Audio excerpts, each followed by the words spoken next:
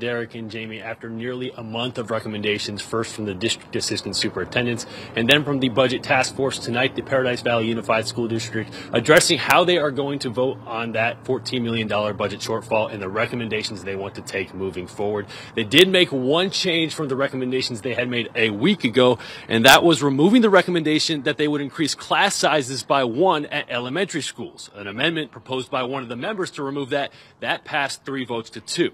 But other recommendations, such as reducing social emotional learning specialist positions, that will still be happening, although it will only be by half as much as the original recommendation.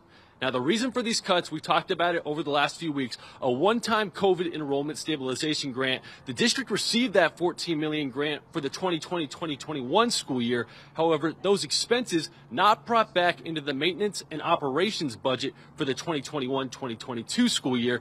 And district representatives didn't realize this mistake until the end of that school year.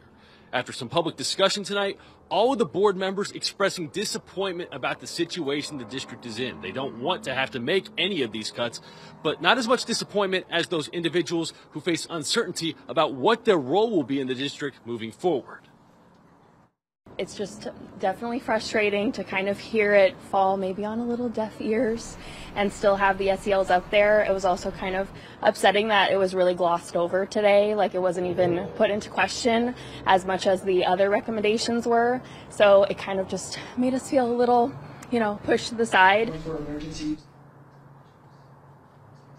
those reductions in the social emotional learning specialists, those will go into effect next school year. But again, the big change today, the board voting to remove that amendment about increasing the size of the elementary school classes. Again, we will keep you updated on the situation. But for now, live in Phoenix, Elliot Polikoff, guys, back to you.